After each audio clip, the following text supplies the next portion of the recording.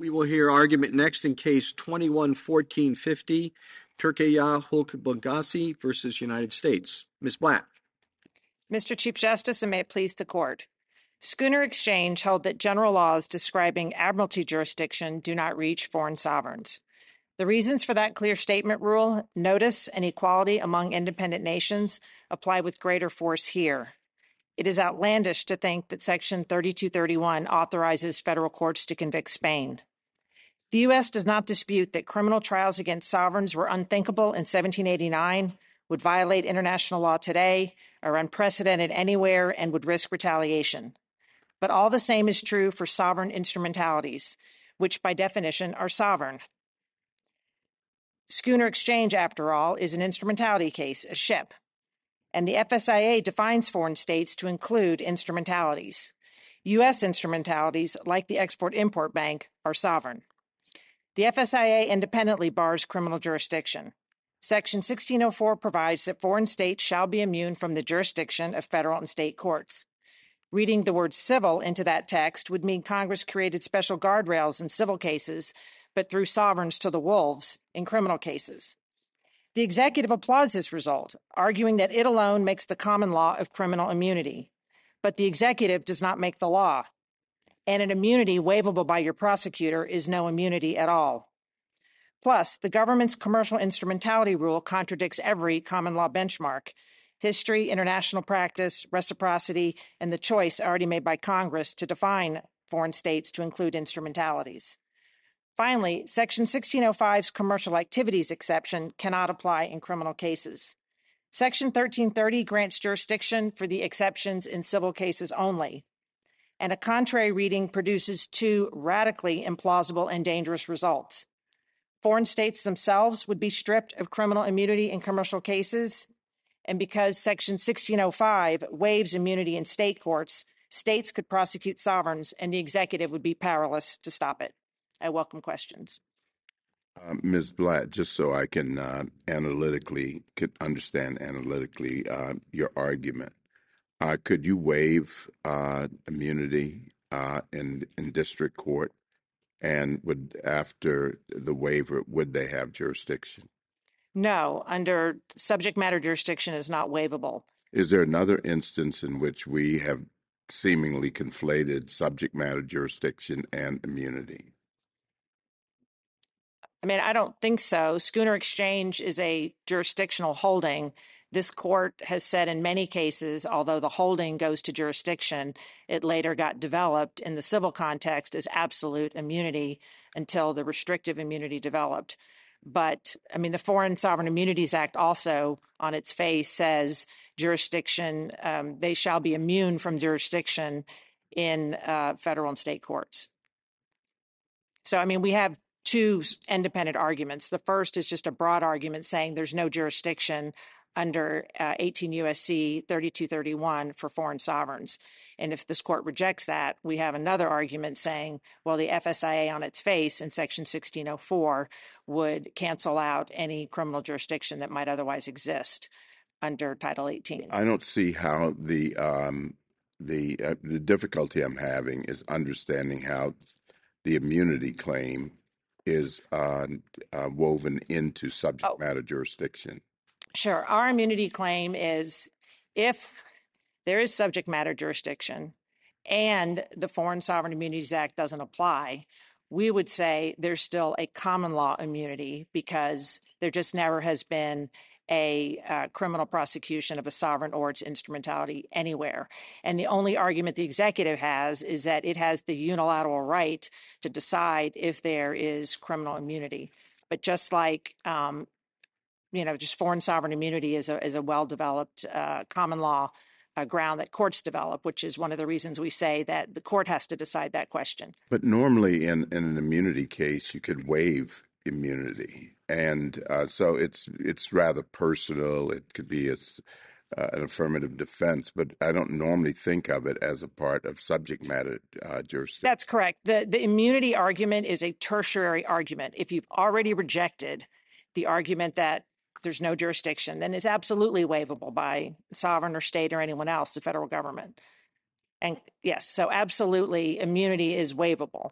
It's just that if you agreed with us on either the FSIA or, um, well, the FSIA has its own waiver provision, so the sovereign can always waive under the FSIA. But aren't you hamstrung there because that norm that's civil? Well, no, our, our main argument is that the section 1604 with, with, with bars any jurisdiction speaks more broadly than section 1330, which opens up only civil jurisdiction. So the actual immunity confer the immunity conferring provision or jurisdictional stripping provision is textually broader. It doesn't it's not limited to civil cases. But then you trap yourself with the exception for commercial activity.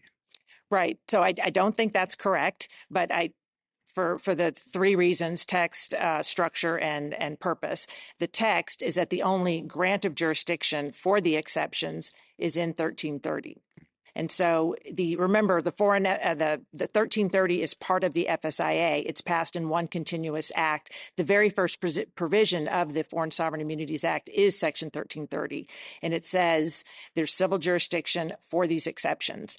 And then you get to the broad uh, cancellation of all jurisdiction and then the 1605 uh, waiver. The second reason as to structure why I don't think the commercial activities exception could possibly apply in criminal cases is you would think Congress would actually have just care about how those uh, cases would proceed and all of the provisions that go to venue, service, answering the complaint, removal are all on their face civil only. And so it leaves you know, it's just inexplicable. And finally, the results that I said are borderline, you know, cataclysmic that 50 states, all counties, and any city in this country that has prosecution authority would all of a sudden have jurisdiction to prosecute any country qua country. And because Congress has expressly waived immunity uh, and canceled it out on the statute, the executive branch can't do anything about it.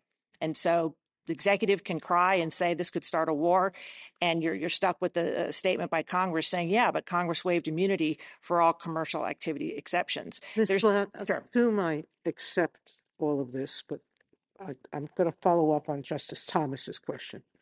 I have problems seeing immunity as subject matter jurisdiction.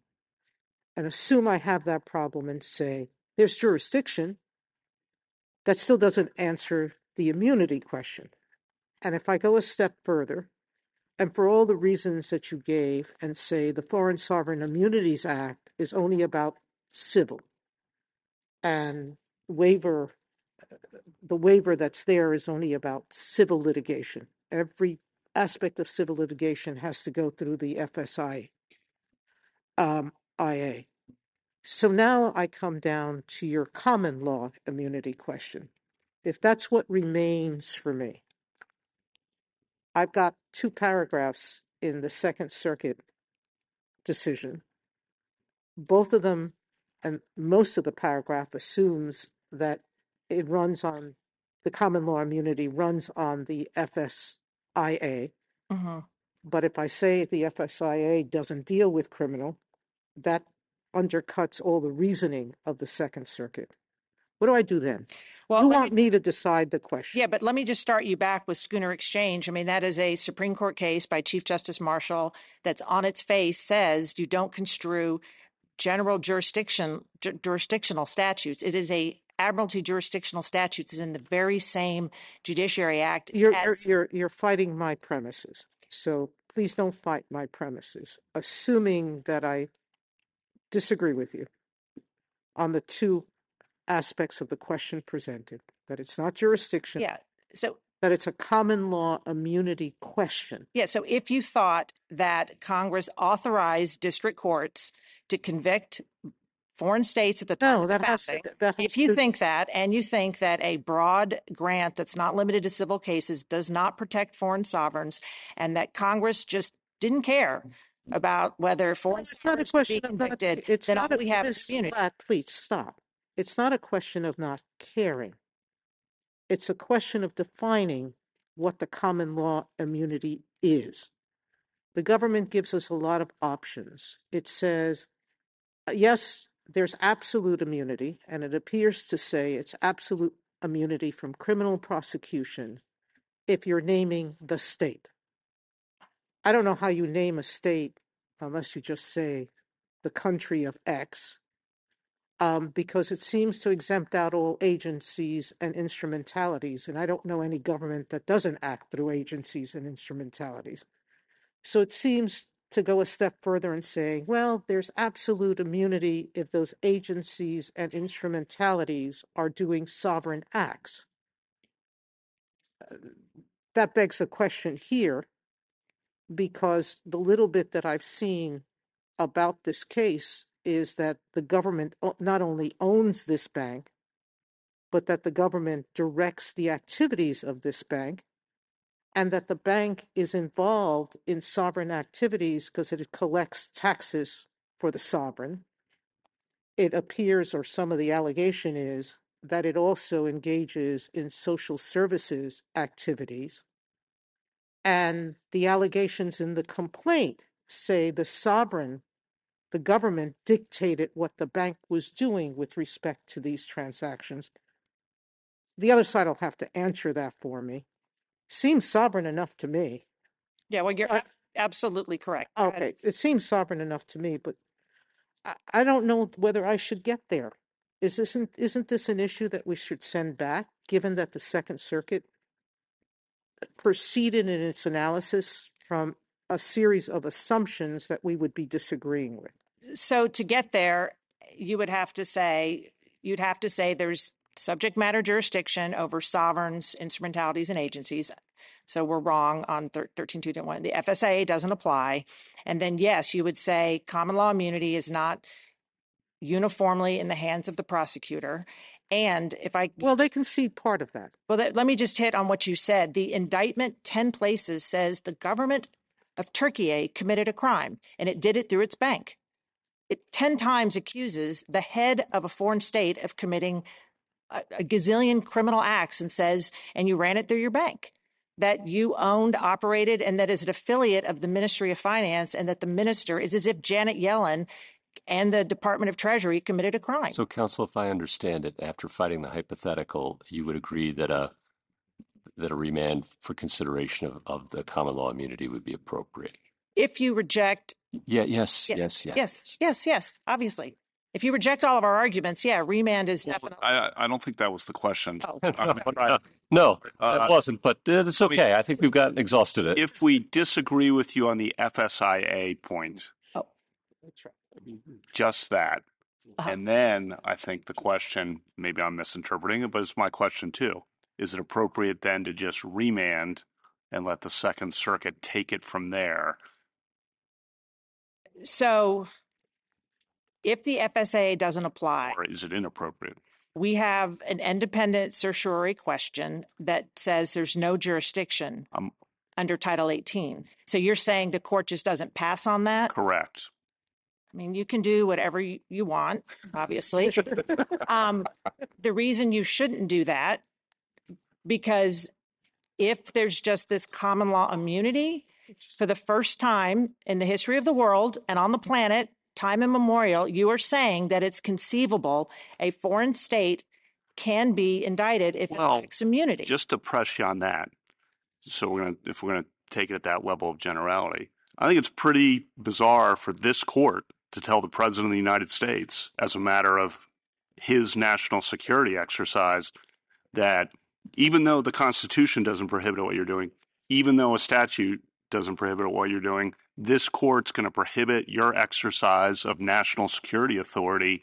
That talk about big steps. it is That's huge. it's huge that the there's actually uh, in my mind, there's unreviewable authority of the executive branch's prosecution decision when it's acting pursuant to a congressional authority and so you first have to think that congress gave jurisdiction for a federal court to convict a sovereign it has nothing to do with the executive Why do we branch have The language is that- pretty, uh, the language Yeah. is clear. 32, 31. I mean, it doesn't, it's not qualified. So it seems like if we disagree with your reading of Schooner Exchange as a subject matter jurisdiction case, I mean, as we just said in the last case, the word jurisdiction is of many, many meanings. I mean, in, in many ways, it's kind of like a personal jurisdiction claim. And this goes back to what Justice Thomas was saying. I mean, it seems to me like maybe one reason we don't see these prosecutions is because the executive understands foreign countries to have absolute immunity and so would rarely assert them because I agree with Justice Thomas. We typically think of something immunity as something that can be waived. And then 3231 is just simply saying that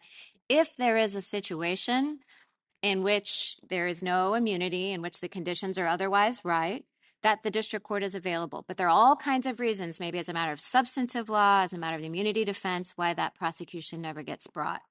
Mhm. What's wrong with that? Well, let me just take you back to the founding because in the it's not just this is Section 9 is a jurisdictional provision that has the Alien Tort Statute, Alien Tort Statute, and it has the, the 1331 predecessor plus the admiralty jurisdiction. In Section 13 of the same Judiciary Act, this court got original jurisdiction over diplomats and their servants.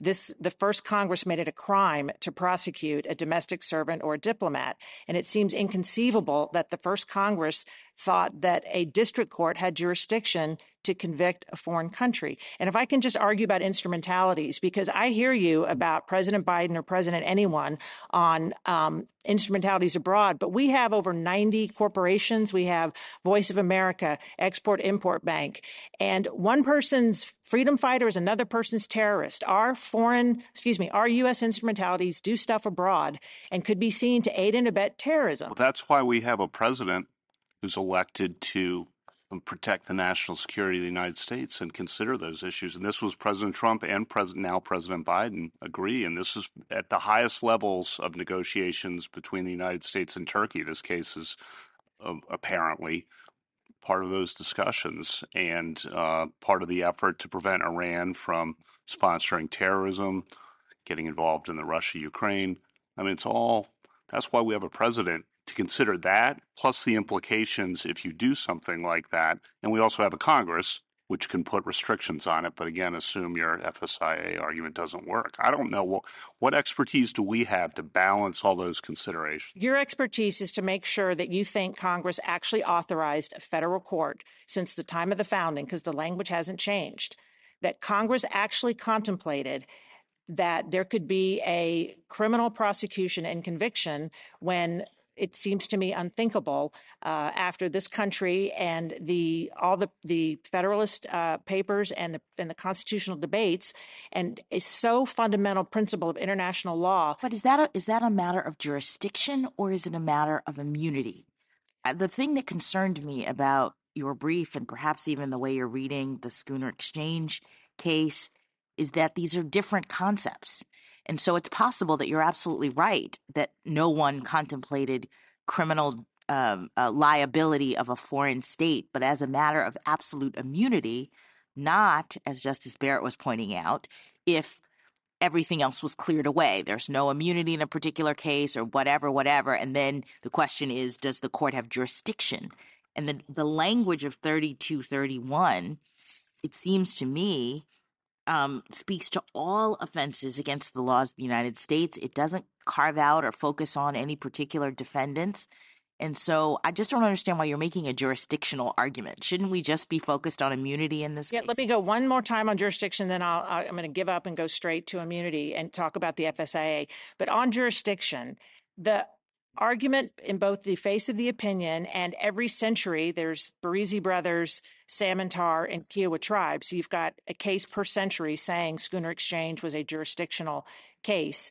The actual government argument of government counsel was do not misconstrue this statute because it would be a judicial declaration of war unless Congress gave you that authority. And I, re- I read the opinion, but there's nine of you and one of me, and you have all the power. So you're going to read the opinion how you want. But I read it on its face to say jurisdiction. But now let's say, okay, so we're, we're done with that argument. Let me just talk about immunity. To say that you just bypass the FSIA is huge. Congress issued a, passed a landmark statute in 1976 against in a very particular context. The context, as I understand it, was that Congress was concerned that Americans who were suing foreign entities didn't have real assured certainty about whether or not their actions were going to uh, uh, be considered because a lot of the power to uh, identify circumstances of immunity or not was with the executive branch. And so they wanted to codify rules in the civil context for when a foreign country was going to be immune. I don't see anything in the statute that suggests that Congress was focused on or was thinking about immunity for criminal prosecution. Well, except for the language of a provision that does not limit it to civil, and it's the most fundamental provision in the statute, 1604, which grants immunity from jurisdiction. But it also seems to us, which is said in our opening, that Congress just left this subject to juries, uh, and that you know amenability to fraud claims all the special protection the, the, statute goes on for pages and pages i have no doubt that congress was thinking about civil prosecutions because those are the only kind that ever existed. And I do think it is a big step to say that the this court is going to say and leave it to courts when Congress has not spoken. And the only time Congress spoke, it granted broad immunity and then laid down these very specific procedures on how you would ever go about uh, entertaining jurisdiction over a foreign sovereign or its instrumentality. We are, Ms. Blatt, if if we uh, accept your arguments when it's applied to sovereigns as such, is there any way to distinguish those arguments when it comes to a 51% commercial enterprise that may or may or may not even be identified as associated with the sovereign, but the sovereign owns one more share than the to, to, form a majority? Yes. Our definition of an instrumentality is it has to be created and designated as such by the sovereign and ownership and control. So you wouldn't have 51% doesn't get you there. The, but Why not? I mean, it's Fifty-one percent control and and uh, ownership and all that. Because I think for just you know anything kind of even arm of the state or federal instrumentality, it's important to have the designation by the the the, the government and. Um, and created. In other words, I don't so think. you're saying they would choose. There's some where they're going to say this is us, and others where they're going to say we just happen to own majority of the shares. That's what Congress does. And this court has always deferred to Congress's judgment when it designates a federal instrumentality by statute. What I'm trying to prevent is a situation where if a foreign country just bought a U.S. company and had control, I don't think that means it's a foreign instrumentality. If it's an organically created by the foreign country, and uh, you know, here it's it's an actual an affiliate of the Treasury Department or sort of the Ministry of of Treasury, so it's much more than that. So I don't think it can just be this 51 percent. Um, but cases like, you know, Lebron, Amtrak, Thacker, uh, FDIC versus Meyer, you've had a million cases involving uh, federal instrumentalities, and it's always been enough that Congress designated it as such. And it is a sovereign, but for the sue and be sued clause, which waives the immunity it would otherwise have. And I, again, what worries me and why I think Congress should have a vote is I don't think eh, not every president in every foreign country uh, may feel the way uh, our president does. And all we're saying is that Congress should speak clearly before opening up federal courts to that jurisdiction. Once Congress has it say so, then there's nothing you can do about any prosecution. The government gets to decide who to prosecute. But usually there's congressional authority. And then you have a, a bunch of cases saying sovereigns, including foreign sovereigns, aren't persons. It's just a presumption that general statutes don't include the sovereign. They don't. But it seems, though, kind of going back to this immunity point, in other countries, I assume that this is a matter of international law. The, the sovereign immunity say that the United States may enjoy, that it's not controlled by jurisdiction there. So why would it all fall apart if it's controlled by immunity doctrine and not jurisdiction here? They, they have many, or not many, um, Maxie. They have comparable FSIAs in some of like places like South Africa and Israel. But yes, it's just been I mean, the world has been around for like 7,000 years and no country has ever tried another country. well, it's just never happened. And so to sort of say, well, some Second Circuit case can figure it out, district courts will muddle along as long as the president says it's okay. Our country's different. We're special. Hopefully, no other country will retaliate. Uh, uh, just, just one more. Um, let's let's say that I disagree with you on the 32, 32 31. And so yeah, we are yeah. talking about the FSIA.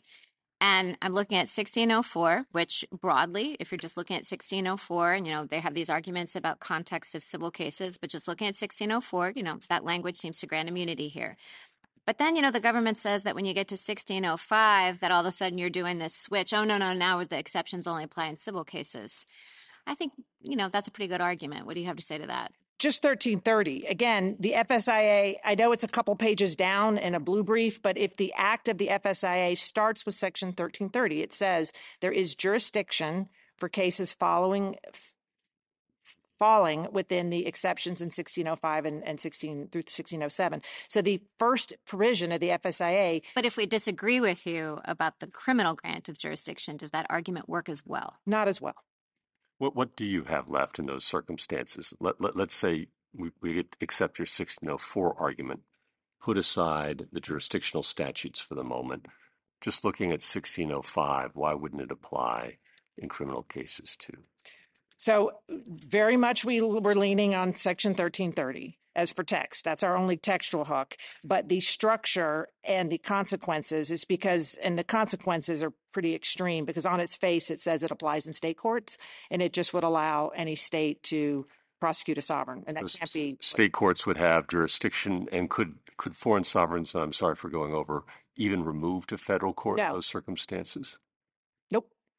Nope. And if you take the holding below that, even though everything happened in Turkey, it uh, commercial activities applies. It just blows open the FSIA in, in every county, city, state court. Justice Thomas, ready? Justice Alito? Justice Sotomayor? What do I do? What do I do with the fact that um, many other countries have S, uh, FSIA provisions that explicitly say they don't cover criminal cases? Those countries go exclusively on common law. So you were making the argument that um, many people copy our act, but they don't copy it completely. They exclude criminal cases. Um, Yeah, so correct. Two points. One, we think that's what they did in 1604, but you're you're absolutely correct that the ones we cite in footnote two are specific to criminal. And two, the only thing we know about international law is that French uh, highest court case that says you can't criminally prosecute um, a the the Malta Maritime Authority for acts that relate to the sovereignty of the state, and but that's we we have permitted a suit against a vessel that was owned by Mexico, I think it was, Mhm. um, but operated by somebody else. Correct? Yeah, the Hoffman case, and you do have a lot of cases that we think they're they're talking about. Is there enough sovereign attributes over the ship? But again, we do rely a lot on history. That there's just no, there's always been absolute immunity, no ands, ifs, or buts for criminal cases. Justice Kagan? Um, Ms. Blatt, you said in response to um, Justice Barrett's 1604, 1605 argument that you were leaning quite heavily on 1330. But I'm wondering whether 1330 makes your position even stranger. I mean, you're um, uh, positing a statute that starts at 1330 with the jurisdictional provision, clearly only looking to civil cases, then switches to civil and criminal on the main immunity provision, and then switches back when you get to exceptions to immunity to only civil cases. And I would think that you look at those three uh, sections and you think they should all work together. They're all governing the same universe of claims. And that suggests that 1604 is doing only civil, just as uh, uh, uh, 1330 clearly is, and as you say, 1605 is. Yeah, and so just just two points, and I think again the backdrop of all of this is that the FSIA was trying to codify international practice and law, and international law. I don't think the government can dispute this. Is there's been absolute criminal immunity, so Congress had no reason to do anything at all about procedures or anything else when it came to criminal cases because there's no such thing. So Congress passed a very broad immunity statute, and then everything else it has to say about the subject is civil because those are the only kind of cases that can go forward. So yeah, I see how you know you're what you know the the you you did, but if you just look at it from what Congress had in front of it, there was no such thing. The government has two subpoena cases, and that's it. There's never been a criminal prosecution of a sovereign or its instrumentality here anywhere. And so, just Congress. Otherwise, one would think that if Congress knew that it was even possible, they might have allowed removal. They might have done things like been respectful on service and said maybe you should send it to the embassy instead of FedEx. They just they pr- presumably would have said something. Well, maybe Congress thought. Would they have said something if they thought that there was um, common law immunity, so that a statute didn't have to get involved? Then they wouldn't have passed a statute with any involvement of criminal actions. Oh, no, Justice Kagan. We know you've said this so many times that the FSIA was to clear all this immunity up once and for all because it was a disaster. It was. But what was a disaster was a lot of civil actions. As you say, the criminal actions were never brought. And they would have done something about juries. I mean, I just think, again, the, the one thing just to, to not have any protections or any procedure seems to me quite odd when Congress thought so comprehensively about even the notion of sovereign immunity. And so to us, it seems odd that Congress, I think it's attributing that Congress is just, I know I'm not like the word indifferent, but would let the Justice Department or the president, rather, the president control how these things happen. There would be juries, there would be fraud claims, there'd be no removal if this, uh, if state, if state courts, if state states can. I mean, I think the government's view is that states could prosecute, and you'll have to figure out how it's preempted under I don't know what law they're gonna. I'm sure you'll ask them about preemption, but I don't even know how they would muddle through how this would work out in state court under common law immunity. Okay, thank you. Justice Gorsuch? Ms. Kavanaugh? Uh, I do have a few questions. Sorry. Uh, on, on the common law immunity point, it's just zero in on that. I think the other side makes two main arguments. One, there is a long tradition of deferring to the executive with respect to assertions of um, statements of support for immunity or not.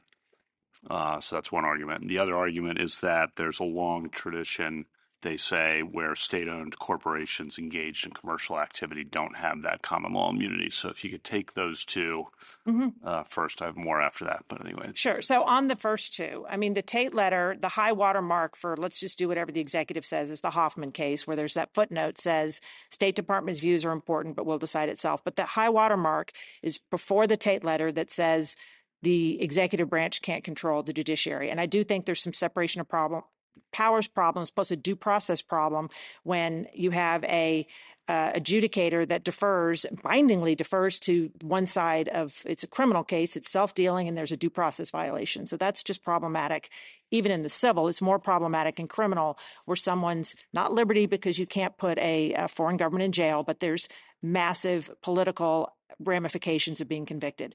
On your second question about how the immunity doctrine developed, the government is just wrong. It developed on the commercial axis, not instrumentality axis. They have two cases that de- dealt with instrumentalities, but the axis in the common law is one of commercial. So if the government is right about the restrictive immunity developing along the commercial, that frees them from frees them and allows them and states too, I guess, to prosecute any sovereign itself. The Defense Department, National Park Service, they you know sell uh, uh, cokes and stuff. I mean, our sovereign governments involve do do engage in lots of commercial activities. Okay, next, they say uh, for at least the past 70 years, the federal government has been applying federal criminal jurisdiction, often through subpoenas to foreign government owned corporations. Same. What's your answer to that? So there's been hundreds of thousands, if not a million, and they have subpoenas, and they came up with five. Five. it's not much. And then they're over, uh, we cite this on page 11, of our reply brief. They go all over the country saying a civil subpoena is not even enforceable against a foreign government because it's offensive to their dignity, it's offensive to international law.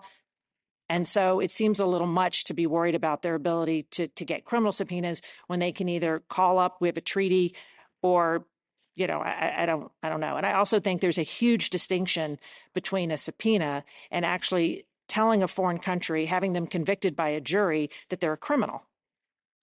Okay, and you said Congress. You said earlier Congress should have a vote. The way I conceptualize this, it's like Youngstown Category yep. Two. Uh, so Congress hasn't authorized, Congress hasn't prohibited, but Congress does have a vote. If we rule against you, and Congress says no, that we don't agree with the president's national security determinations in this area, and we're going to take this option off the table. My reading of the Constitution is Congress could do that. So Congress has a voice even if you lose. Yeah, my reading under the section two is you're going to give them the deference that they are due in foreign policy if Congress hasn't spoken. And again, you've already tied two hands behind my back saying 1331, they've spoken. Right. So yeah, then I, am I'm, I'm having trouble in sec, you know part two. But if I think I'm in part two right, Congress has given general jurisdiction for federal courts and could not have possibly contemplated that that meant uh, sovereigns could be convicted and that left it up to the I don't know who the first attorney general was, Randolph, maybe? I don't know. But whatever that guy's name was, that they left it up to him to prosecute Britain.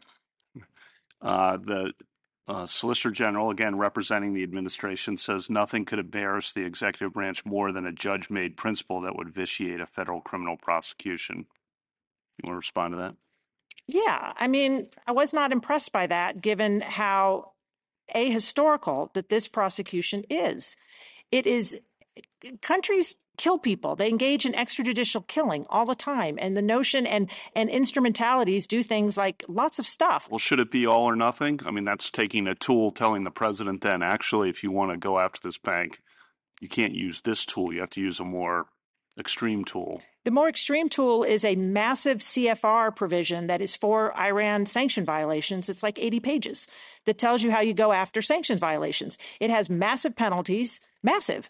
You can, I don't want to say you can shut our bank down, but you can shut banks down for sanction violations. So, what uh, are they doing in criminal other than insulting the Well, it, I mean, if you, again, I don't know, but the news reports suggest this was discussed with President Erdogan that uh, Turkey's foreign minister is coming to the United States this week. I mean, I don't, you know, I don't know about all of that, but I do know that we don't know about all of it. I know that you shouldn't let 12 Manhattan jurors figure this out, which is what you're doing. You're letting them go to a jury and put a foreign sovereign on trial. That's what the indictment says, is that the, the government of Turkey committed a crime and did it through its armed state. That's just a serious accusation. We think it's false. And I get that the executive always gets to decide what to do for criminal prosecutions. But I really think you have to assume Congress gave the executive that power from day one when it wouldn't even let foreign courts deal with diplomats and it made it a crime to charge their servants. Okay, that's it. Thank you for your time. Sorry to take up so much of it.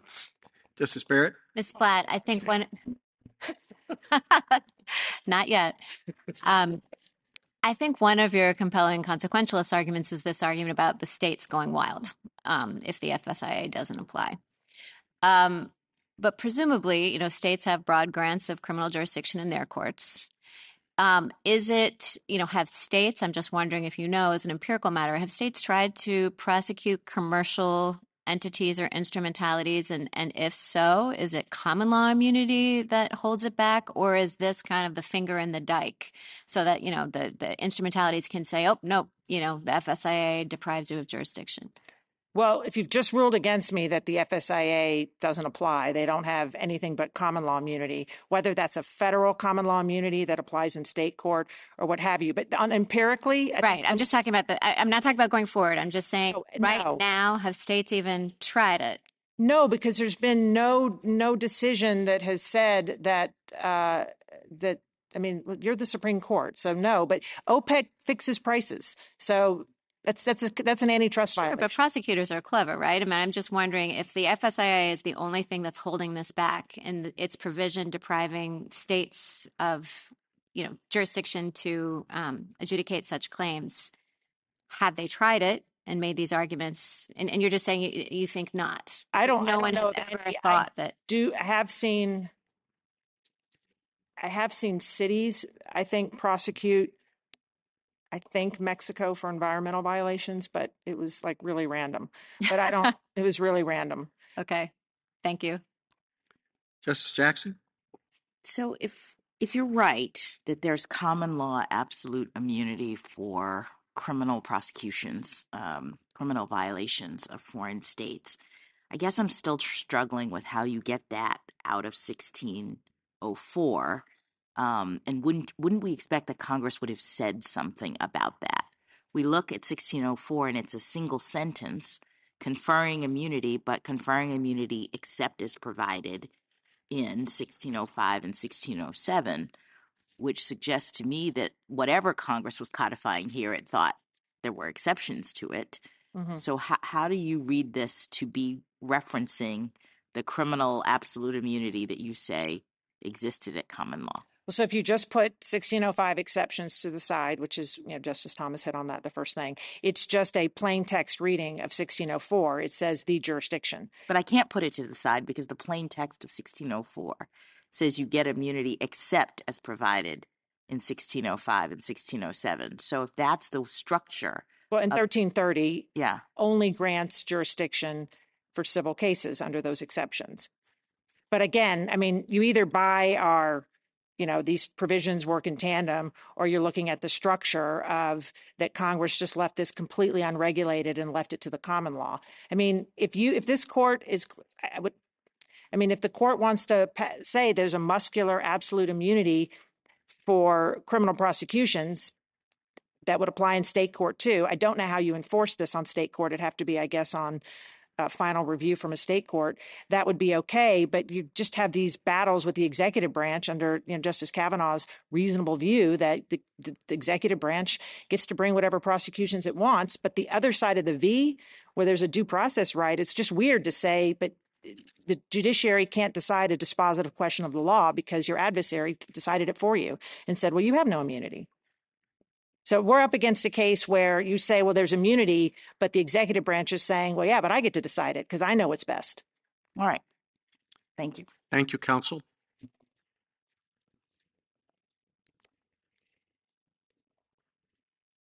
Mr. Fagan? Thank you, Mr. Chief Justice, and may it please the court. Petitioners asking for an extraordinary and unprecedented rule under which any uh, foreign government owned corporation could become a clearinghouse for any federal crime, including interfering in our elections, stealing our nuclear secrets, or something like here, evading our sanctions and funneling billions of dollars to an embargoed nation, uh, using our banks, and lying to our regulators. And that unprecedented rule is based on essentially nothing. Their reply brief drops all their reliance on their secondary sources and anything in customary international law because none of them apply to foreign government owned corporations, which are separate juridical entities when they are performing non sovereign functions like the banking function here. And if this is a, I think opposing counsel called it a cataclysm, if this is a cataclysm, I think it's quite telling that only three disinterested countries have joined an amicus brief in this case. We're not hearing the kind of outcry that you would hear if this were unprecedented. What they're trying to do is ask courts, which courts have modestly quite recognized are the least capable branch of doing this, to invent a new immunity rule that overrides the policy judgments of the federal government, which were carefully considered in this case and carefully considered in the very rare cases where we decide it's necessary to take this step because civil sanctions just aren't going to cut it against a repeated violator of sanctions. And there's no license for that. We take these things very seriously. And there is no basis for the common law immunity rule the court would be inventing. And let's be clear a, an idea of common law immunity pervades, I think, all three arguments the petitioner is making here, because the idea that there is some common law immunity and that there's some implicit assumption in the air about these kinds of cases is exactly what informs their interpretation of 3231, the FSIA, and the backdrop common law immunity. I'm sorry I ran a little over, Mr. Chief Justice. Uh, Mr. Fagan, um, the could you have indicted the country of Turkey itself as opposed to the bank? And if you couldn't, then analytically, what's the difference? Uh, a couple of points on that, Justice Thomas. I'm not going to disavow the idea that, in theory, the executive could make that judgment. That said, we do acknowledge that there is a strong customary international law principle against prosecuting a state qua state.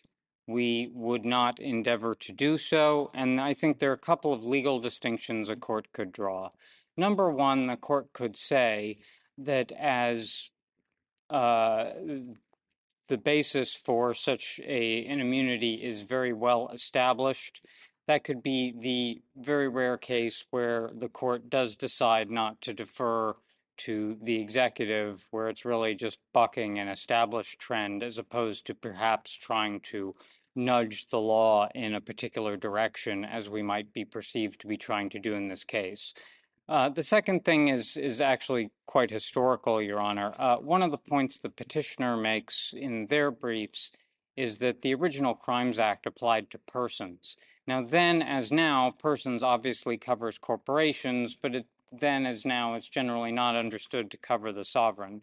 So one might think that contextually that's just not a thing that Congress contemplated in uh, Section 13 of the Judiciary Act, which is the predecessor to today's 3231.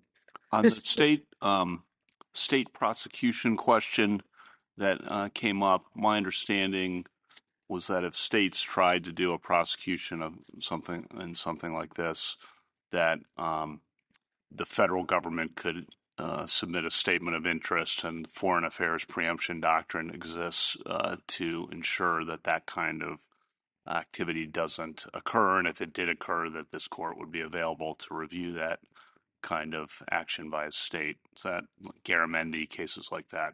That's exactly our point, Your Honor. And, and a couple of broader points about that are number one, there's no dispute, and Samantar, I think, makes quite clear that uh, states could prosecute foreign officials, and uh, there are some instances of them having done so in history for crimes like embezzlement or rape. And uh, the the second point I, I would make is that uh, because is that uh, they wouldn't be able to prosecute foreign government owned corporations for their sovereign actions. There would be obvious common law immunity in Counsel- those cases. Counsel, I'm wondering to what extent you've considered um, the impact, though, of uh, of saying that 1604 doesn't p- provide immunity. Um, in the last discussion um, with Ms. Blatt, uh, the point was made states really haven't tried this, maybe a municipality here or there. Uh, but if we hold that 1604 doesn't apply to criminal cases, then states would be free uh, to try to bring lawsuits against Mexico for this or that, or perhaps China because of COVID, or who knows what a creative state prosecutor might come up with. And normally, when a federal official um, is charged with some crime in state court, you have a right to removal. Um, I think it's 1442, maybe. Um, but there would be no corresponding right to removal by a foreign s- sovereign. And that, that's just that, that's a bit of an oddity, um, an in- incongruity in your argument. And uh, the only place for review of these state court actions would be in this court uh, at the end of the day, uh, perhaps at the end of those federal, those state prosecutions, or on some emergency interlocutory basis. And I just wonder, have you given careful thought to those consequences? Well, we, have thought about the consequences of our position and we've given it careful thought. But the absence of a removal provision in those circumstances, I think, is actually a very strong point in our favor. Putting aside foreign officials, for which there is no removal provision, also, we know that from Samantar. I think if Congress were actually had been thinking about this at all, uh, that is, criminal actions, when it enacted the Foreign Sovereign Immunities Act, it would have included criminal actions in the removal provision because even because I think in the world the petitioner's envisioning, courts automatically get right whether the Foreign Sovereign Immunities Act even applies in the first place. And that would necessitate, on their view, dismissal of the case. And even that can be wrapped up in complicated questions. You see some of them in the Pangang litigation, where we are prosecuting a Chinese government owned corporation for acts of economic espionage. And they could even have been brought up here. It's not entirely clear, although Second Circuit precedent kind of precluded us from making this argument below, and we're not contesting it for FSIA purposes. Uh, it's not entirely clear that the Turkish Wealth Fund is actually itself an instrumentality. of Let- the Let's put that aside because you didn't raise that. And, and, and just uh, one last point on 1604. I understand the contextual arguments about 1605, and I, I get that. But just on its plain language, we normally start with the statute itself. And if the statute itself is clear, we stop there. And here the statute's language doesn't parse out criminal versus civil. It's a it says you know the court shall have no jurisdiction to entertain something like that. A pretty broad language that would normally encompass both civil and criminal in a normal case. So why wouldn't that? Why, why shouldn't we follow our usual practice here? Your Honor, I think this is a case like Utility Air Regulatory Group or Brown and Williamson, where you have to look at the statute as a whole. And this statute, if you look at it as a whole from start to finish, is concerned with criminal action, uh, civil action, excuse me. Um, for example, if you start with the title, which was created by Congress and it's in the statutes at large, it refers to immunity from suit. That's a civil term. It was Congress's decision to place this. I understand the contextual yeah. arguments. Okay. I, I, do, and I appreciate them, and I don't mean to cut you off, but just looking at 1604 itself, have you got anything to help us on, on the language there, you stuck and have to go to these contextual arguments? Your Honor, I, I don't think it's an un, it would be unreasonable in uh, complete isolation to read that provision as potentially applying to criminal cases as well. Mr. F- I, I I'm sorry. I'm sorry. I, I was just going to say I think this is a case where every single other contextual factor, location, uh, title, everything, you know, the operative provisions, which opposing counsel just told, okay, cuts the other way. Um, I, I am a bit stuck on um, the drama of this, but the drama of this is also that um, U.S. attorneys' offices, there's 99 of them in the country. Uh, I believe it's 93 or 94. Whatever the number is, it's up there. Um, do they uh, have to get approval on every case that they bring against any defendant? We do have a process, Your Honor. Uh, a process was followed in this case. No, no, no. Tell me what that process is. Do they need to get approval and from whom? Your Honor, we do not have a formal written process, but I, what I can tell you is the following. Some of the aspects. So assume the following. You don't have a formal written process. Uh, Your Which in my mind means that some U.S. Attorney's Office in I hope it's not a city. I don't mean to denigrate anybody. Timbuktu. Um, I, I'm making up a name, okay? Um, in Timbuktu, some U.S. Attorney's Office brings such a suit without getting approval. Can DOJ order them under what authority to dismiss the suit? I think we could, uh, first of all, I suppose that could be a rare case in which um, I suppose that could be a rare case in which the government might, if it did so in derogation of what we understand to be common law immunity, that is, it, for example, uh, brought a criminal action against the Kingdom of Sylvania, we Whatever. could file a uh, suggestion of immunity in that case. But otherwise, So- I think the Isn't your Attorney answer General yes? exercises. I'm, I'm sorry. No, you, no, Your Honor. I Your believe- answer is not yes to could the could the president or the attorney general order the uh, suit U.S. attorney? I believe the uh, Attorney General and the President would be quite well suited to ordering that suit. Sorry to interrupt. I just Firing the United States Attorney if the United States Attorney were to Well, that- refuse that- to that- comply. I, I don't know how um, I would want to leave to the vagrancies of individual prosecutors, whether it's federal or state, the right to insult another nation by giving them this unbridled power to initiate suits. Well, Um, you're saying it's limited by the common law, but I'm uh, putting aside that that uh, I don't know where the dividing line really is on what constitutes commercial and what constitutes sovereign. Um, but that has a danger all its own, doesn't it? well, Your Honor, just to, to finish up the uh, the point on the U.S. Attorney's offices, I I don't think any of the questions here could turn on whether there's a formal written policy, and just because Now, what not do a I what do I policy, what do I do with uh, the hearsay uh, news reports that came out that the prior administration was trying to apply pressure to drop this lawsuit it, I, on the Southern District of New York? This is a Southern District of New York case, it, it is, Your Honor. and and so what do I do with that? Your Honor, I, I think those are internal government deliberations. Um, some of them have been uh, brought to light. But I think what they do show is there was a process. The U.S. attorney did not just go through and indict the case without permission from Main justice. But turning to the question, But the Main justice, does it go seek permission from the Department of State? Because who's the executive to make this decision?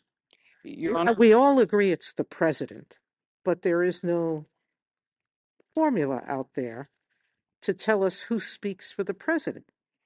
Is it, you're saying in this lawsuit it's you, and I Your Honor- respect that, but I'm talking about before it gets to the Supreme Court.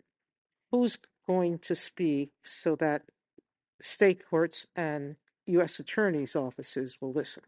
Your Honor, the the consultation process in this case, I'm given to understand, uh, involved the other affected departments, like the Treasury Department that was lied to, and the Department of State.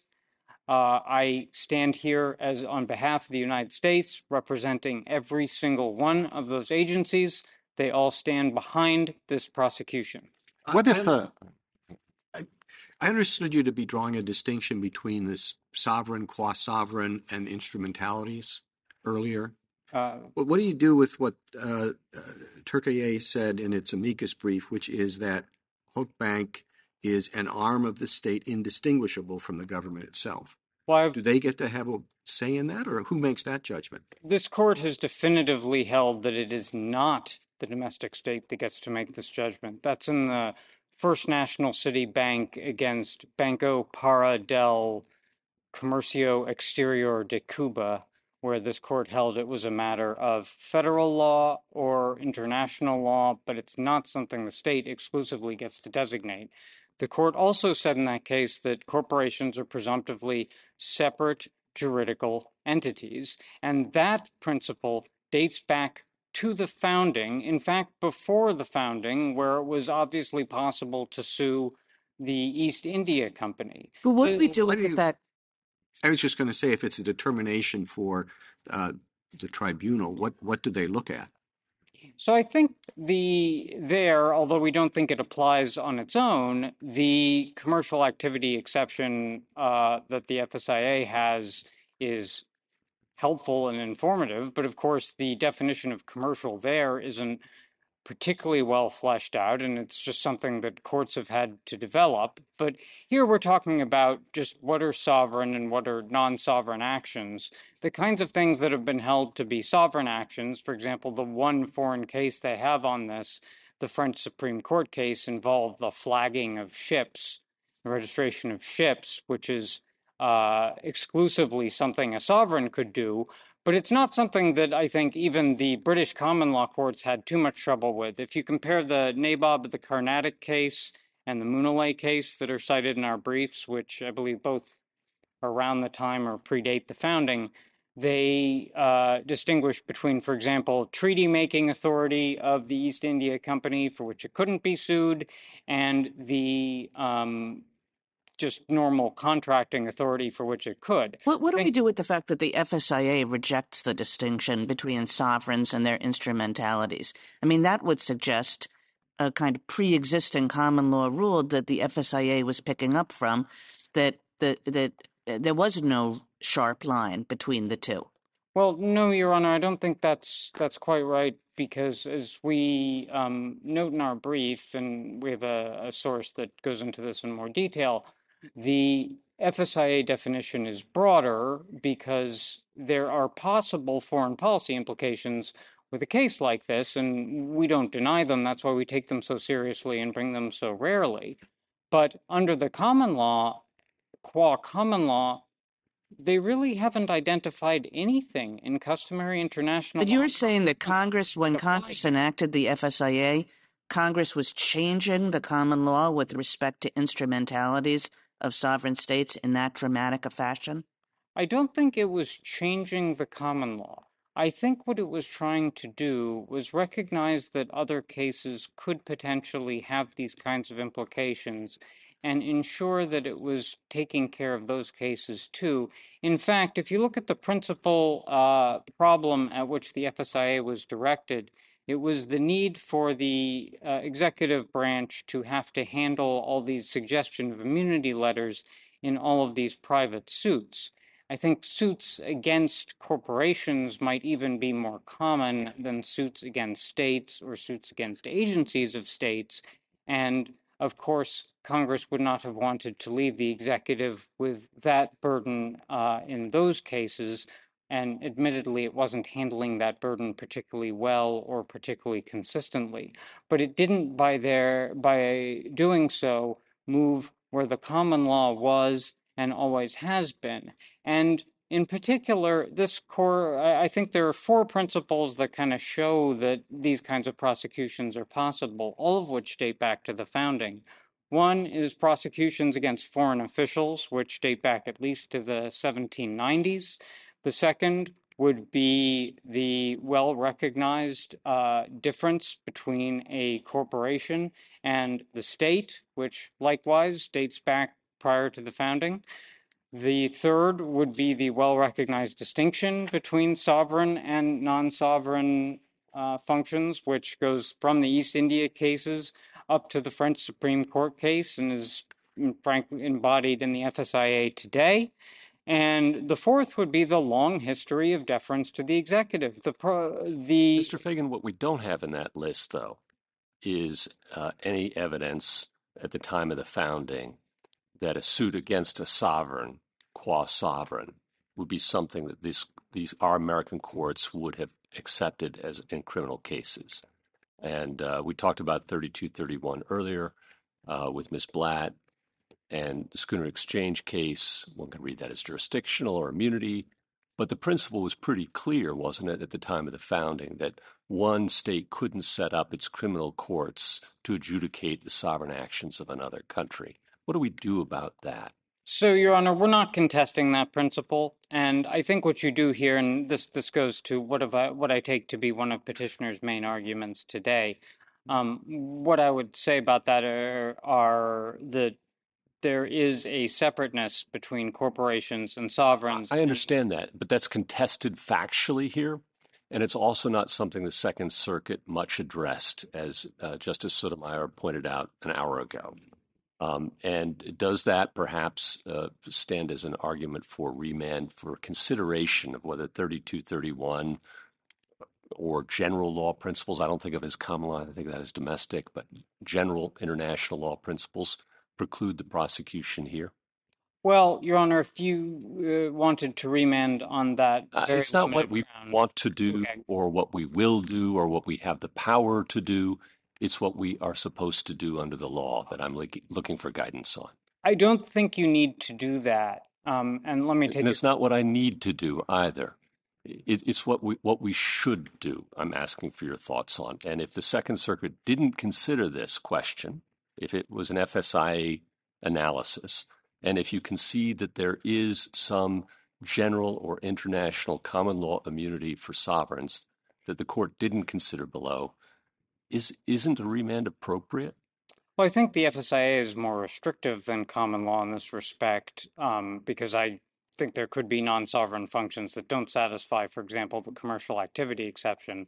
So I think that should really uh, this should really be enough. But on the particular issue of separateness, if you'd let me take a quick stab at telling you why this is a this is crystal clear under this court's precedents.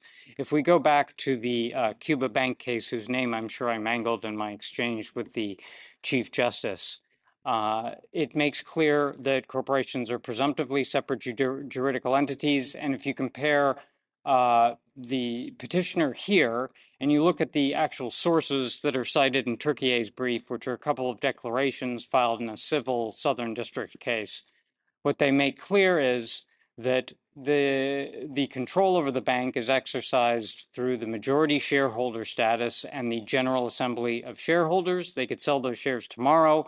It's publicly traded on the Ankara Stock Exchange.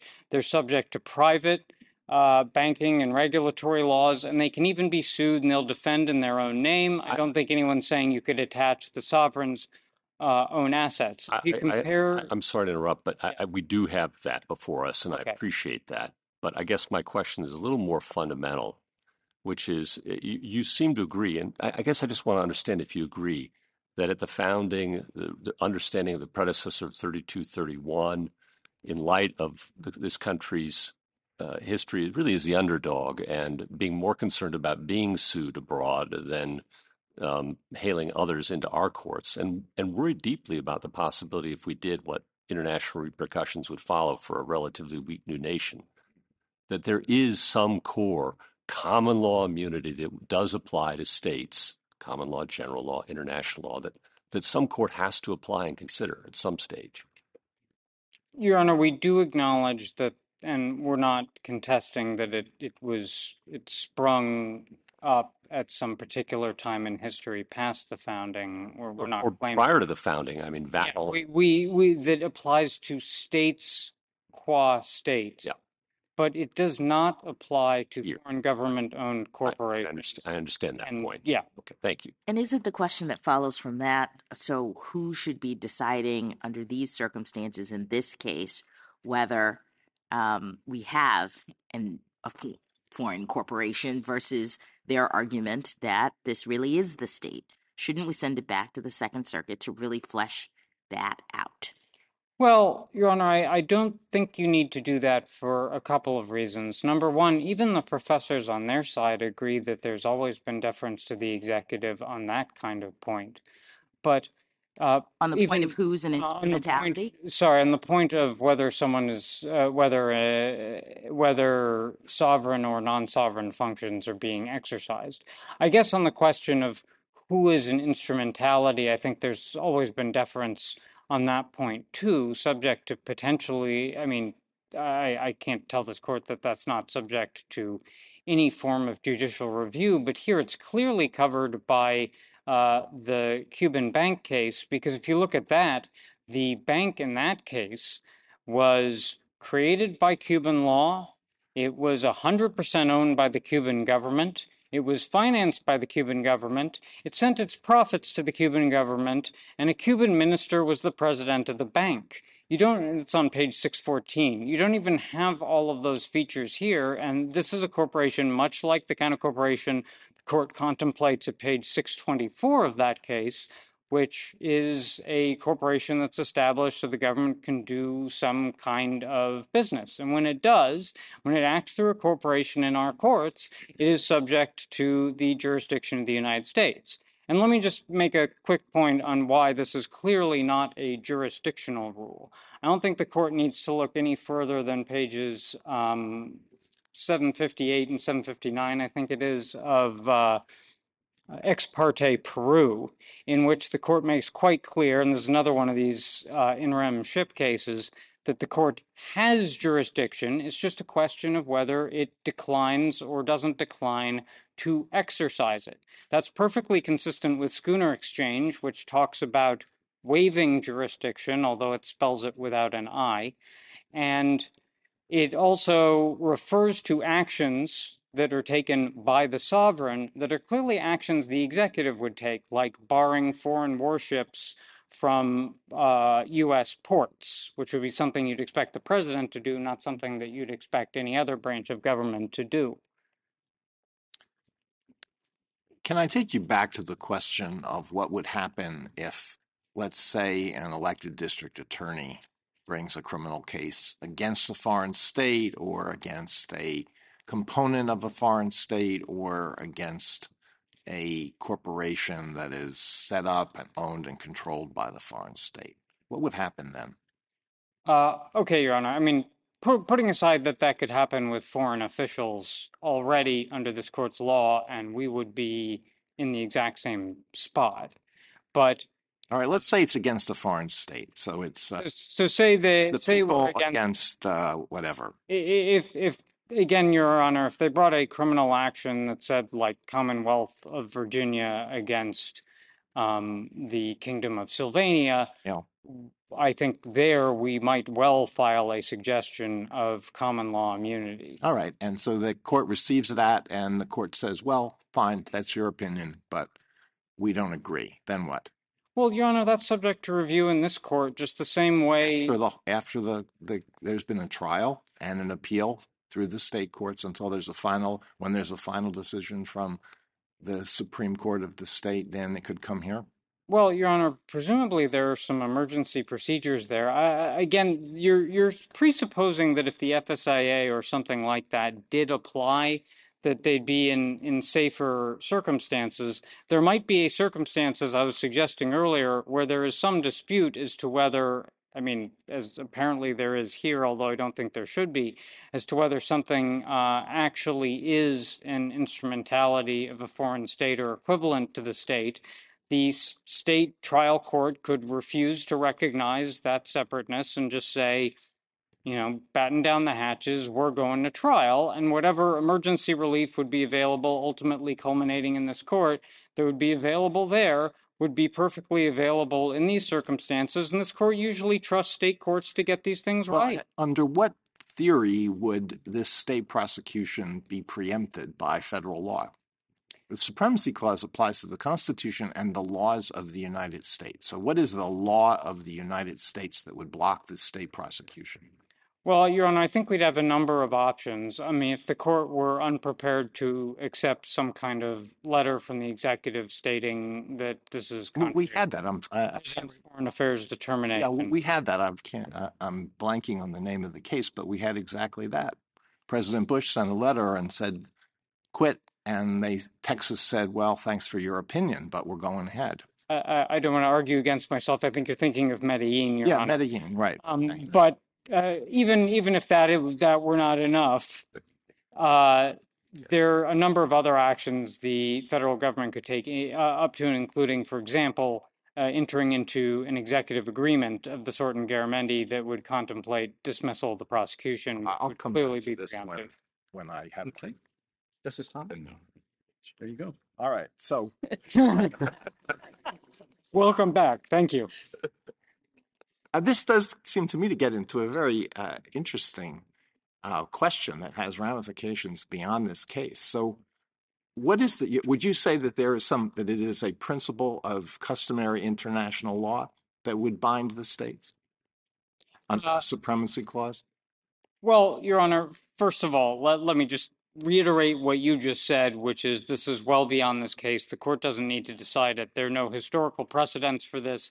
It, therefore, under Samantar was not a problem Congress was particularly concerned with, and we can worry about it when and if it comes up. If it were to come up, I think we would say that the supremacy clause and just the structure of the Constitution overall, as this court has you know repeatedly recognized, vests the federal government with exclusive uh, foreign affairs powers. The foreign affairs powers are principally exercised through the executive branch, and if the exec the executive branch has a number of tools for ensuring that the states don't start making side treaties or do things that the federal government uh, does not approve of. And I think there'd be a number of tools that could be used here. I've suggested a couple of them. Another one of them Well, I just want to know the status of this rule that's being imposed on the states. So it's a const- it's an inference from the Constitution. I can understand that. That's what you want us to say. It is an inference from the Constitution that the president can uh, direct that uh, foreign states be sued, but a state can't do that. I, I understand that. Uh, what, but when you talk about common law, then I, I'm more confused. Well, I'm not confused. I'm I'm worried because isn't it a, an interest, a very important question, whether customary international law is binding on the states under the supremacy clause? Leon, I think uh, the court suggested in Samantar that they should that courts should give weight to suggest. I suppose those were federal courts under the FSIA, but um, eh, the court suggested that for foreign officials, courts ought to give some respect, uh, potentially conclusive respect, to the views of the executive branch, which would, and to the extent that those reflect customary international law, uh, I think that might well be binding on the states, particularly because the states don't have any authority to legislate or take action that would be contrary to customary international law. I I mean, I think Medellin might um, be somewhat instructive here, but I I think it's just a more general principle that states should not be taking actions that get the U.S. into foreign hot policy water. And I think if that ever were to happen, and for some reason it did not, no sense prevailed in the state courts, this court would be able to resolve that problem. But it has never happened, which again, under Samantar, is something that suggests that it was not something Congress was concerned with in the FSIA. It clearly doesn't bear on the threshold 3231 question, and it doesn't have any purchase here. Well, it's, it's federal but nothing like this has happened either. Yeah, that's not true. We've been doing this for decades. Admittedly, it's because it's since the 80s. I'm not going to claim that we've been doing this since for 7,000 years or uh, claim that we've been doing this since the founding because we haven't, but that's because of a rise of government owned corporations concealing some very serious crimes. If you look at a couple of our recent prosecutions, the Pangang one I referred to earlier is a Chinese owned corporation that is engaging in economic espionage. We have another one against Chinese owned corporation uh, that involves uh, nuclear um, information. And the it's the uh, considered judgment of the executive that in rare cases uh, it is appropriate to bring criminal actions. Justice Sotomayor? Justice Gorsuch? Yeah, so, um, and the absence of state court actions in the past could lead to a couple of different inferences. One, one might be it isn't a problem, so Congress couldn't have thought about it in the FSIA, and we, we have tools to deal with it. But it seems to me an equally plausible inference is state courts haven't done this historically because no one's ever thought any court could engage in criminal prosecutions of, of state entities. Well, Your Honor, So not- uh, does that argument cut? Well, I think both directions could potentially cut in our favor. If it was unimaginable that a state court, in particular, could ever prosecute a state, that would suggest that any suggestion of immunity or preemption would be quite well taken. If the assumption um, instead centered on the FSIA and what sort of, sort of procedures it should include, I think the absence of a removal provision is a blinking light here because if the if Congress were really concerned that this could ever be a problem, it would have given everyone an easy way to deal with The it. blinking light both ways, though, it seems to me. The absence of a removal provision might be suggestive that 1604 means what it says, and it just bars these kinds of actions, period. Um, and I, I, I know you, you, you don't think it's a, a serious problem, but I, I guess I, I guess I'm not totally relieved uh, by your assurances that states won't take a a holding that 1604 doesn't bar criminal actions. If we were to go down that road, I, I guess I'm less sanguine about the prospects of state courts not bringing these kinds of prosecutions, and I'm I'm, I'm still not sure I understand your answers to Justice Alito about what tools this court would have uh, to discipline that under under the federal constitution and the supremacy clause. Well, again, Your Honor, uh, I think it's quite clear under, uh, for example, Garamendi, that if there were, if But we what needed, pro- what provision of the Constitution? I understand your, your your your cases. You've said them. I don't want to repeat that. But what provision of the Constitution would you point to that would allow this court, through the supremacy clause, which again, as Justice Alito po- talked about, is well, we certainly have the right to tell state courts that they are violating the f- the Constitution or federal laws. But what, on what authority could we tell them that they're violating customary international law?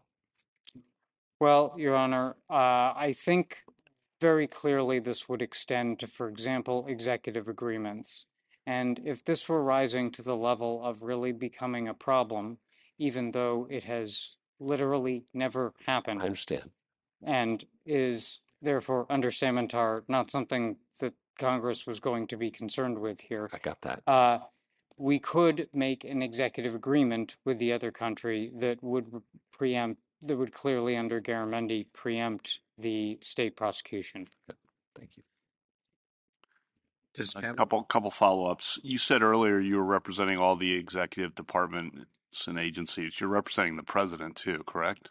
That's correct, Your Honor. President Biden. Uh, yes, Your Honor, Yeah. and the, the, this action was actually brought by the previous administration. Right.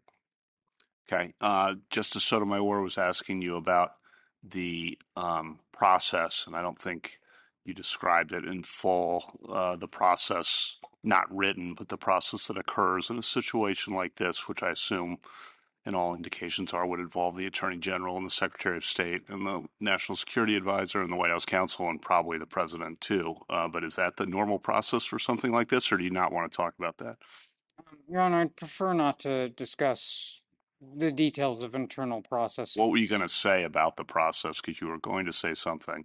I think I said all I was planning to say, Your Honor. I didn't mean to leave the impression that I left something uh, i- i- in the box.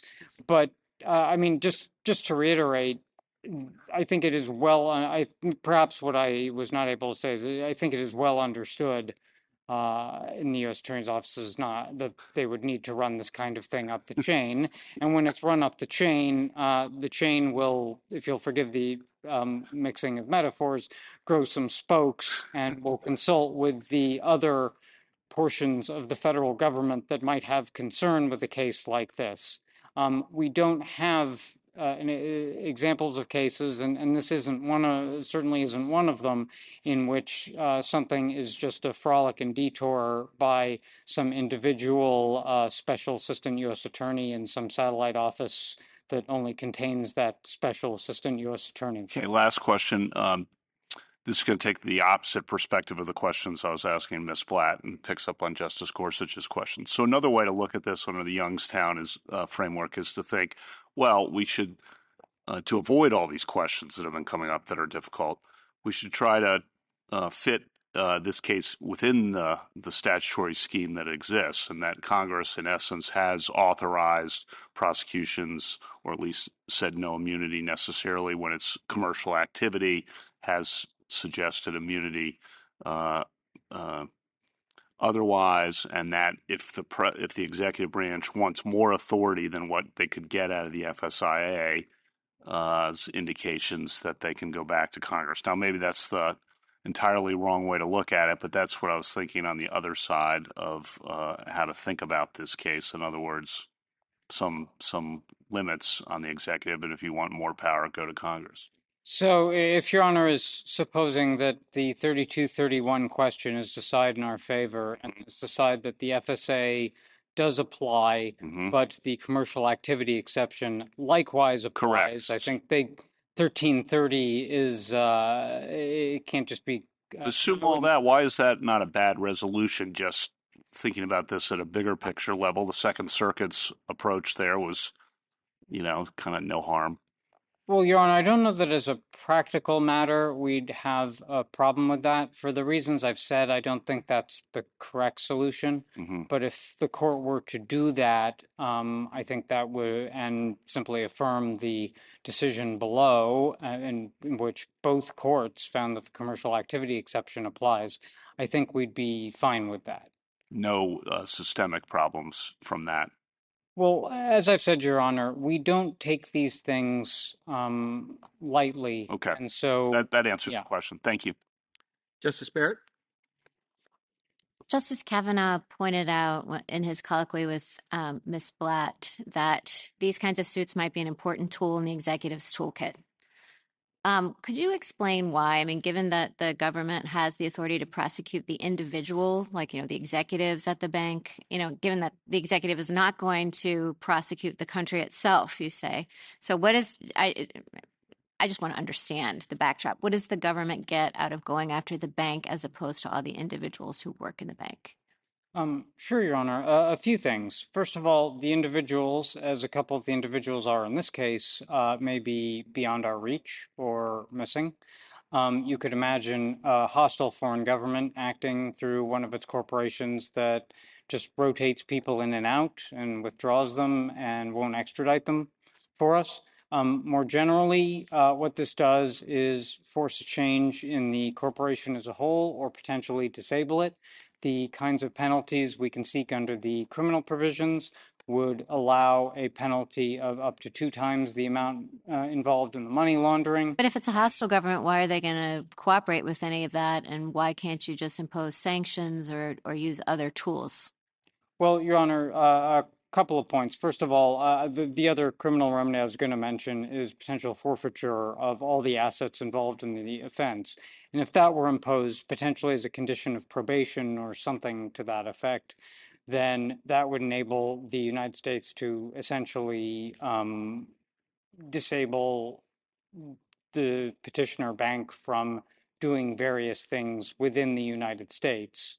Um, as for other potential remedies, uh, under uh, the civil remedies, um, which I believe are 50 USC 1703, um, in order to impose fines for that or, or civil sanctions for that, we'd have to trace each transaction, which is going to be incredibly difficult in the context of a money laundering scheme where the specific purpose is to hide it. And we'd have to go through transaction by transaction. And uh, the other problem is some of these remedies are sledgehammers. Um, some of the remedies they propose, uh, up to and including going to war with Turkey, uh, are are not things that uh, would have very destabilizing consequences. And what we want to do is to deter other uh, government-owned corporations from these kinds of actions, deter, frankly, other governments from trying to use corporations to do these kinds of things. I'm not saying that that's what happened here, but just uh, hypothetically. And uh, also just to disable this particular bank from doing the kinds of commercial activities potentially that it was engaging in that led to this prosecution. What about the retaliatory consequences that uh, Ms. Blatt points out could result in the other ways? The United States is not concerned about those, about foreign countries initiating criminal actions against U.S. owned corporations? A couple of points on that, Your Honor. It's not like we undertook this lightly. As I've said numerous times, we have considered that possibility, you know, without uh, well, I understand that, but I yeah. think part of the questions that you've been getting about states is that, however carefully the United States might consider it before initiating such a prosecution, it may or may not be possible to control what states and municipalities do. And that leads to exactly the second point I was going to make, Your Honor, which is we never controlled what they were going to do. Now, if they decide, I don't know the they this will enable them to the extent that we have uh, government-owned corporations that look like petitioner here.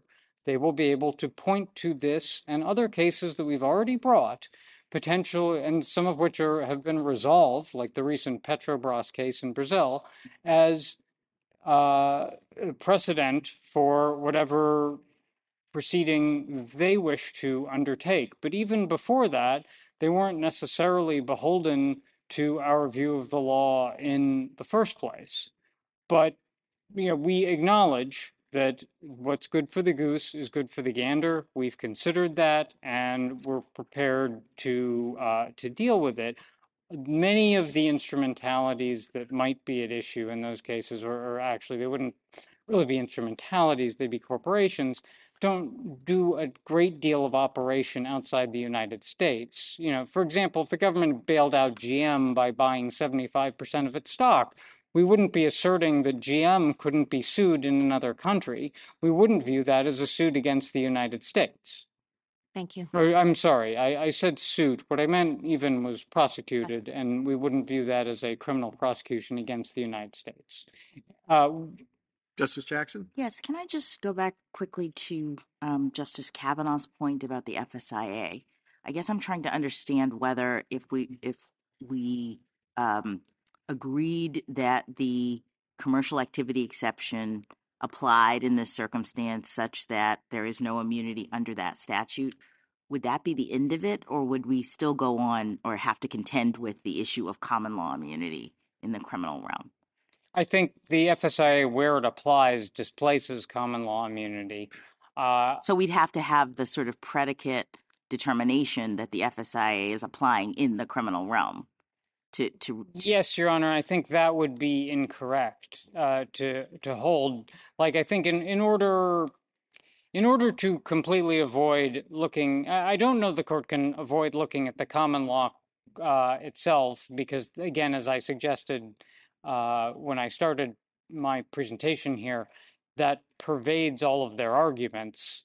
Right. So I guess I'm just trying to I'm trying to understand what your answer to Justice Kavanaugh and the suggestion that we could just look at the FSIA and not address the common law. Wouldn't we have to at some level? I was taking as a given uh, Justice Kavanaugh what I understood to be Justice Kavanaugh's uh, premise that the court had already decided, um, contrary to our view, and I think frankly incorrectly, that the FSIA does apply to criminal matters.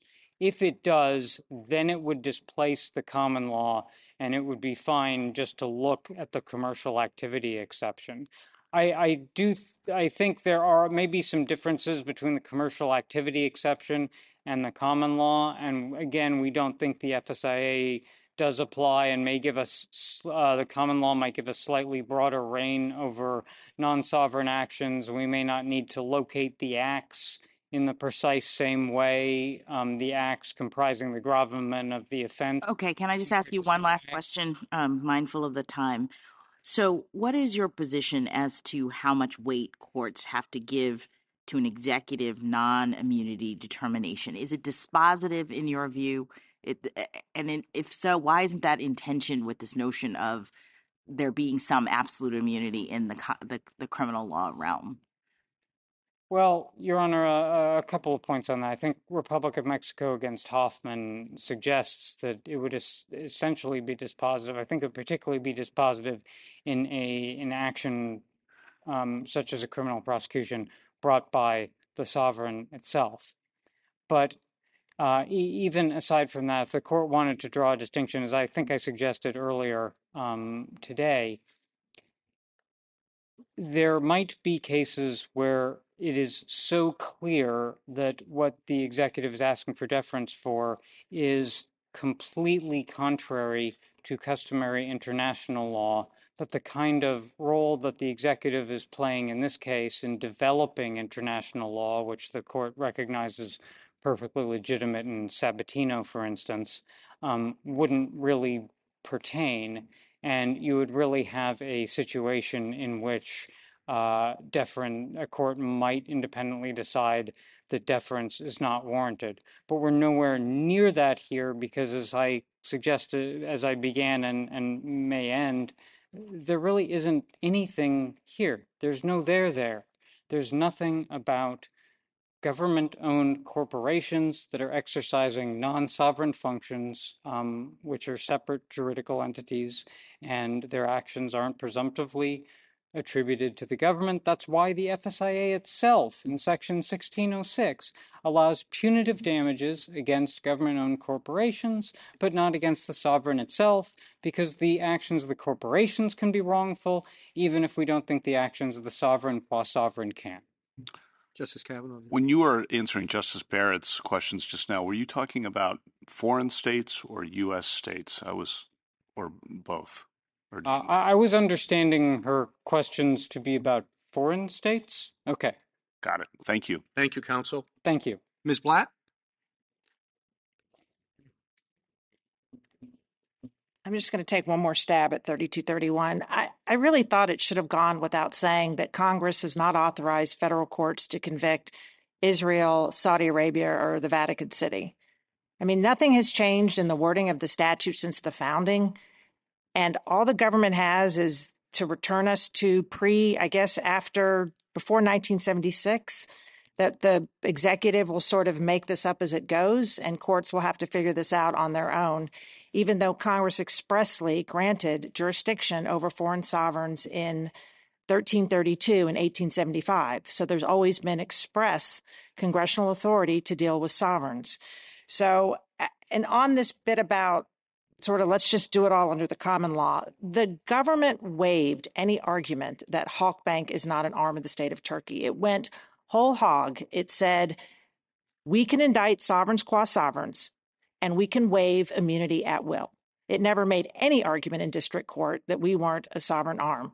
And no matter what he said up here, his indictment indicts the government of Turkey acting through its bank, although only the bank is named in the indictment. The other thing he mentions on this wealth fund, on page five of our brief and the Turkey brief, it makes clear, it cites a, a declaration, and that declaration says it, the wealth fund is not a juridical entity. It is like the, the, the general fund, the Social Security fund, the judgment fund. It's an actual fund of the Treasury Department. So it's actually just has no legal entity. So I don't see how the wealth fund is at issue. On this bit about, well, it's I think he said will protect sovereigns qua sovereigns and will protect instrumentalities acting with sovereign actions. And I, I, think that gets into the waiver point. It's the indictment itself alleges that this was uh, carried out on behalf of, of, of Turkey to inflate their exports. Um, and again, on the international about common law, if you're going to develop a common law that's never existed, because this will be the first criminal trial of any sovereign, uh, instrumentality, overt subjection, or sovereign, you're going to make it up. And you would normally look at history, practice, international law, reciprocity, and the distinction under all laws in any context between sovereigns, their entities, and their instrumentalities. You're giving courts no guidance except for, I guess, go back to the British India something or other. That wasn't even a foreign uh, corporation. So, and always through the law in, in, the U.S. also. The one other thing I will say about this Cuba case that no one disputes that a juridical entity, Amtrak, is juridically separate from the United States. In that case, the Cuba case says Amtrak can't be liable for the United States debts, although the court went on and said we're going to make Cuba liable for the bank's debts. But the, the, the Postal Service, last time I checked, was a separate juridical entity. Last time I checked, it mails things abroad. In most states, the Postal Service is a commercial activity. And so there are lots of entities that actually do things abroad. And so for the government to come up here and say, well, I don't know who's going to determine it's a sovereign act. I guess it'll be Venezuela courts or Russian courts or someone like that. But they're not going to be bound by the government's uh, government's argument here. Thank you. Thank you, counsel. The case is submitted.